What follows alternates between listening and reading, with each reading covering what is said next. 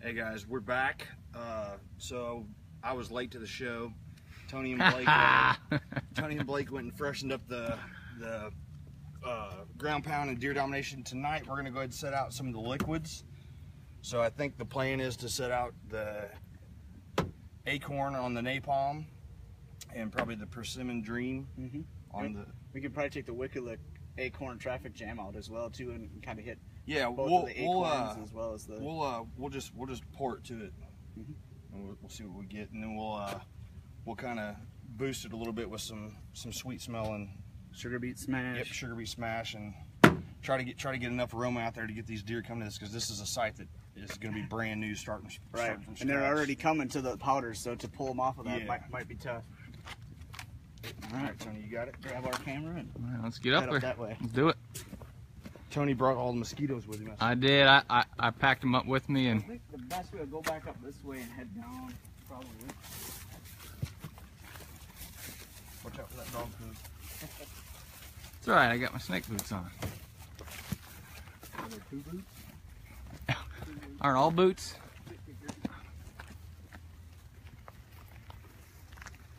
somebody's been shooting fireworks over there.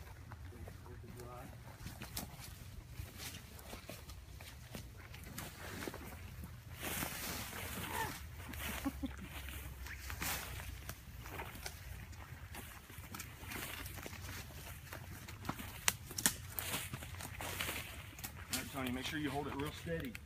Coming through here so you pick everything up.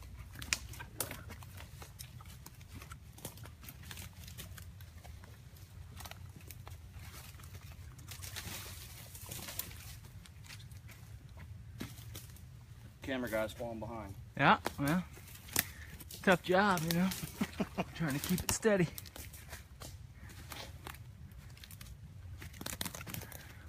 We're getting back in here where they live.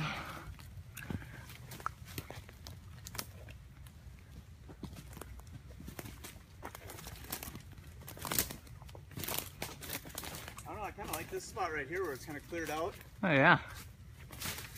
So we can put the, the camera maybe on that tree. We can spray our, our sugar beet smash on some of these leaves and these overhanging branches and set up a couple sites of the liquid here. All right, we want to clear some leaves back. Yep. So kind of, you know, uh, we probably touched on this a bit last week, but kind of explain what you're doing as you set up the site here. Well, this is called clearing leaves, Tony. So again, like we talked about with the powders, though, as the rain comes and as obviously these are liquids, you know, this stuff will soak into the ground and they're, they'll eat the dirt and everything else. So the interesting thing is, if the leaves were off, you could actually see where I shot my doe. What was that, December? Mm-hmm. Right up the hill there. Right, on. so you want to dump this stuff out here so I'll start setting up the camera. And I mean, another way to use this, if, if I mean, besides pouring it on the ground, I mean, you got a fallen tree right over here, or if you got an old stump, Yeah, I mean maybe one the acorn or something. we yeah, we'll dump we'll, uh, the way out we'll there. dump some on. The, I mean, basically, you can put it anywhere you want to. Um, They'll actually eat the bark off of stumps yeah, and they- things they like will. that. I mean, I mean, they'll love the stuff. some of the original development videos that they shot with this, they were pouring it on falling over trees and stuff, and they were literally just gnawing on them. Hmm. Oh, look, the worm likes it too. Scrumptious.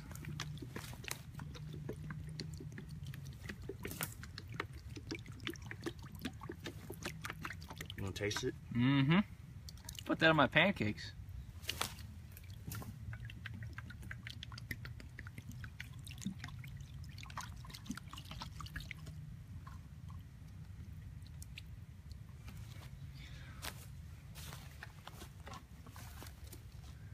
Blake's over there getting the camera set up. Remember, kids, don't litter. That's right. Always take your take your garbage out of the woods with you. Here, I'll pour some. Got the camera about five yards away from the from the site here, maybe five to seven yards. I'll pour the napalm and the persimmon over here on this fallen over log.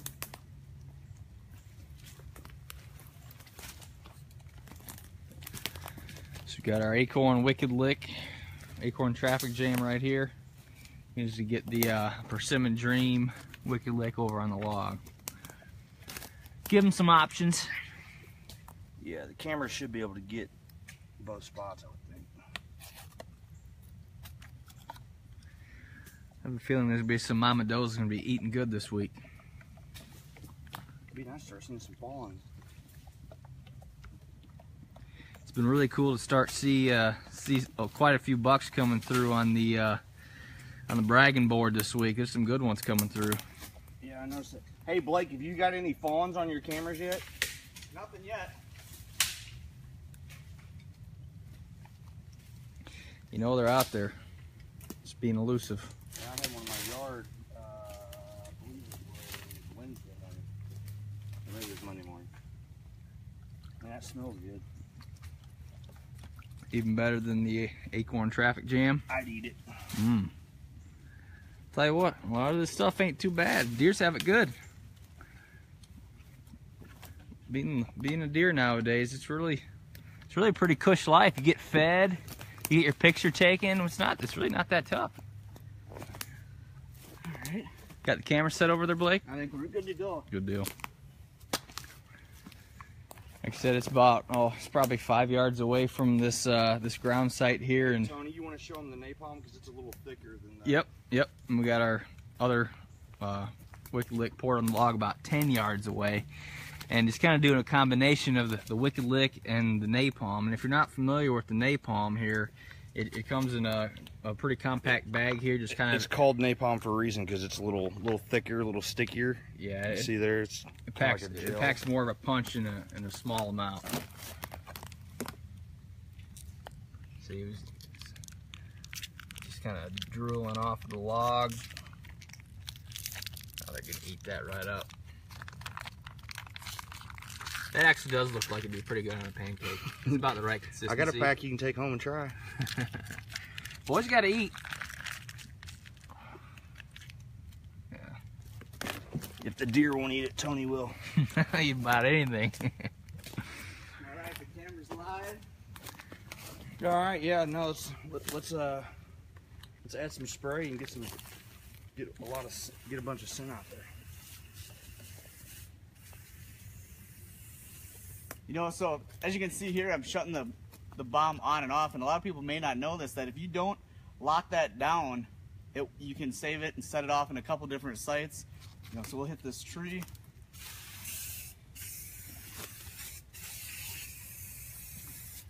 Spraying it up and down the tree, on the leaves, on the bark. That napalm actually smells really good. Yeah. Can we get a whiff of it? Ooh, I do like that. I tell you right now, pancakes, waffles, whatever you want. You know, and, and then there's the the normal way that set off the bomb and, and just let it go.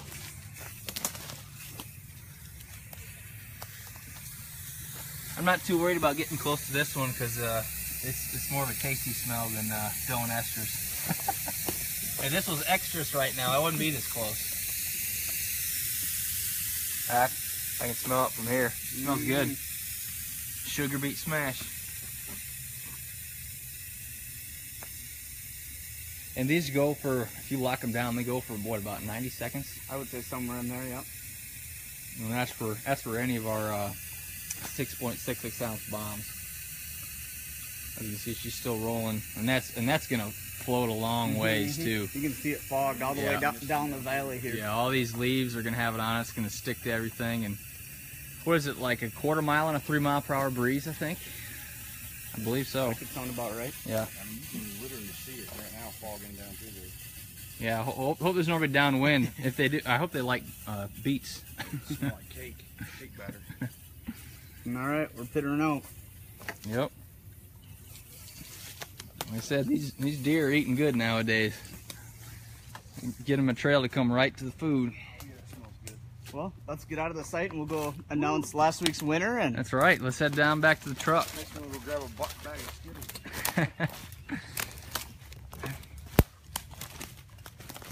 Ooh, yeah, I'm getting it now.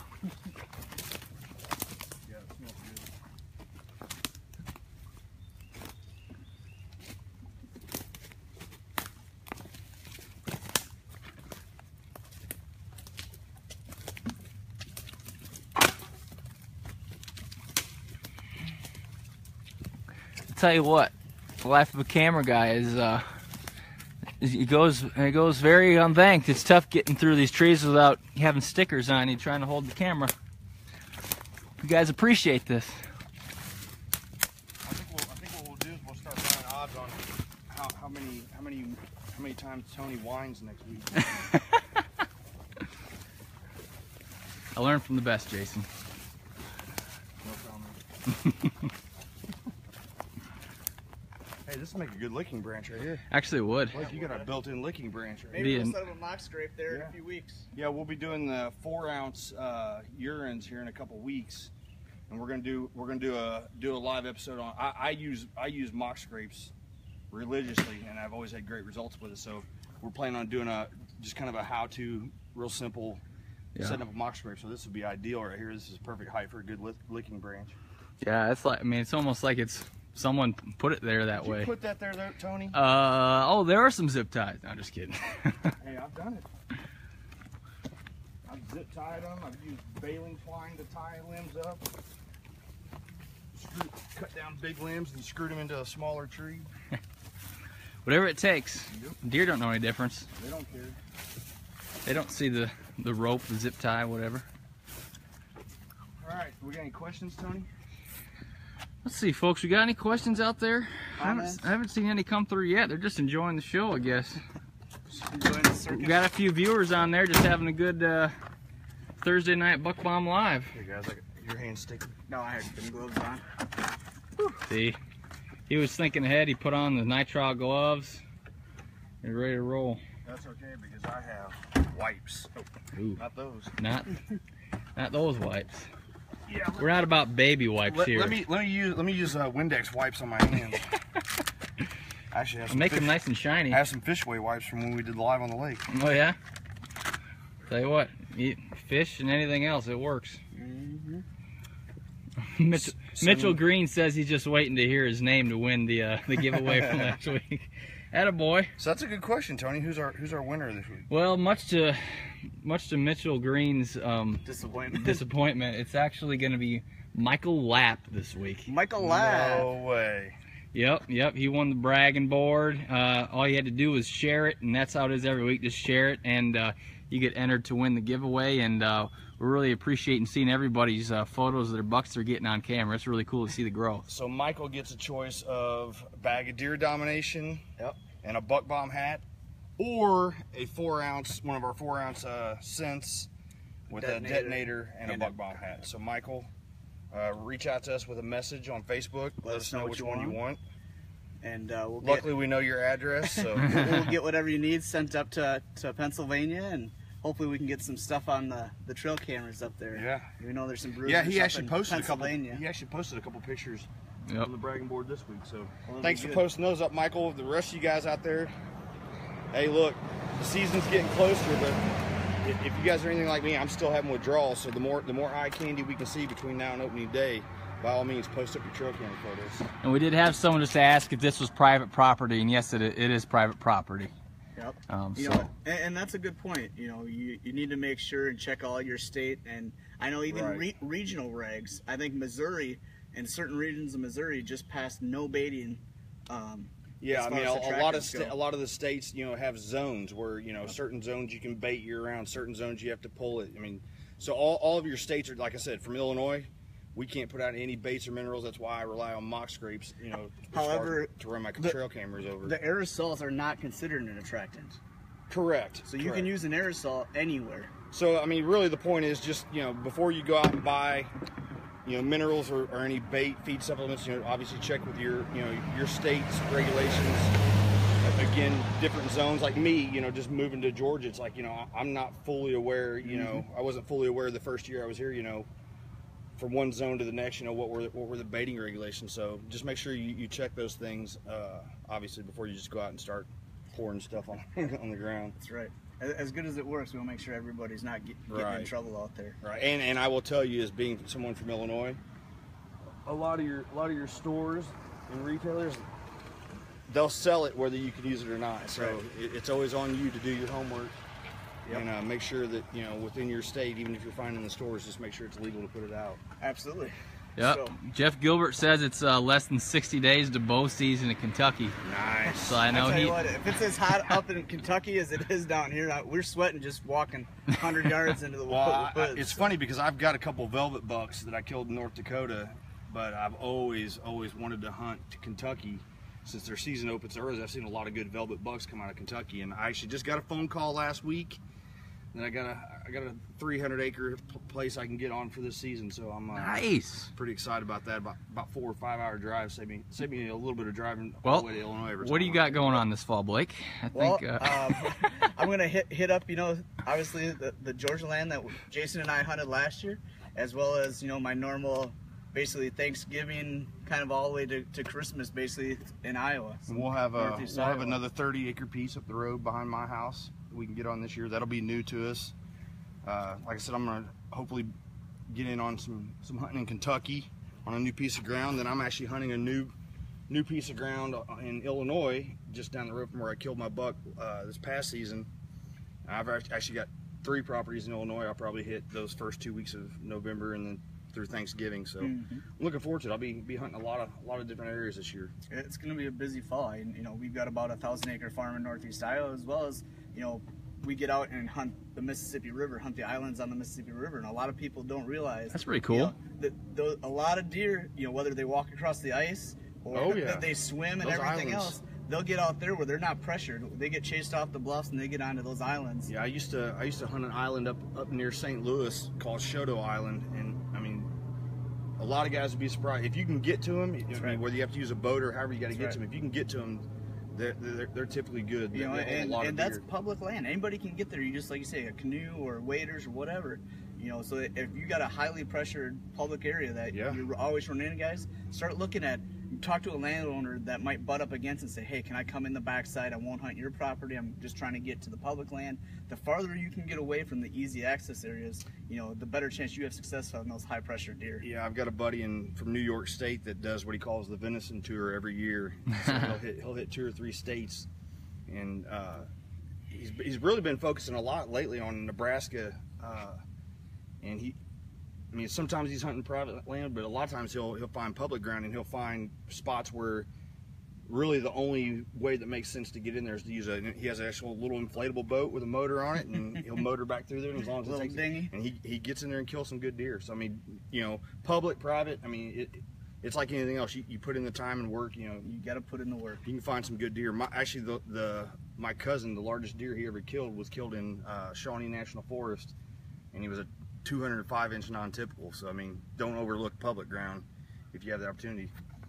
just takes effort, man. It's it's it's the Time one, and effort. It's the one that does the most homework. I mean, even even on private land, the one that does the most homework and and puts in the most effort. Those are the ones that are most successful on a regular basis. Well, and, you know, then that's why we we've all got the itch waiting for deer season and being able to get out and do your homework Yeah. now. Get it your trail is- cameras out you know, there. you can scratch that itch a little bit, literally, probably the mosquito itch. Uh, but at least you're getting I've got the into itch. I'll woods. tell you that. I mean, a, a good example is the buck I killed. I mean, we, we run 20 to 25 cameras on that property, and obviously we have a pile of sheds, you know, that we collect every year, and literally did not know the deer that I, I ended up shooting was even on that property until about a month before before I actually killed him.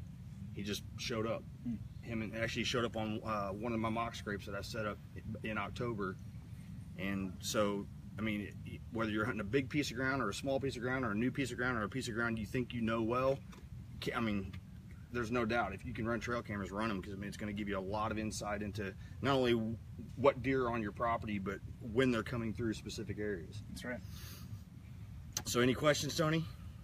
No questions, just some comments. You know, uh, Alan Smith says he's he's waiting for October 1st in Oklahoma. Alan Smith, I, th- I think I remember seeing a, a really good deer, a really good trail picture, truck in picture of a buck he's got on trail cameras. Yeah, we we had some good pictures coming through. So uh, yeah, get out there and it's cool to see what everybody else is seeing out there. And uh, man, it just it just makes you want to get out there that much more when the season comes. Yeah, I'm That's ready. right. So, well, this is what we've got this week for the the liquids that Buck Bomb offers. Um, you know, be sure to continue sharing your, your photos on the Bragging board, and don't forget to, to tune in tomorrow on the HS site, and we're Yeah. going to talk about the the scent control bags. So Yeah, we got so a, a new line of duffel bags. We've gone field. through how to prep how to prep it as far as your laundry. We've gone through you know body all the body washes, shampoos, deodorants, and then this past week we went we went over all the field sprays and wipes. So the final the final chapter in the scent control is what do you how do you store them? So we'll right. go we'll go through a little more in depth on the on the bags and, and options we have for storage. Right on. So until next week, next week I think it's what the blocks, and that's the last of the feed attractants is the Mhm. the blocks, and then we'll uh, then we'll be transitioning into some scents and mock scrapes and stuff like that. Absolutely. Cool. Thanks, All right. guys. Thanks, Appreciate it. All right, thanks.